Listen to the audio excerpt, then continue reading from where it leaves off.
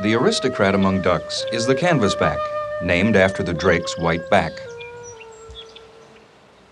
They can be distinguished by their sloping foreheads and long bills.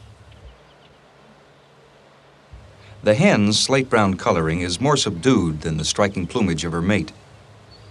The canvasback breeds on small permanent marshes, but rarely along large stretches of open water. Once a common bird, the canvasback is now growing scarce. It is a hardy duck which arrives very early in spring, nests in the parklands of western Canada, and returns south when the waters of the north become frozen. For more information on the canvasback duck, why not contact the Canadian Wildlife Service in Ottawa?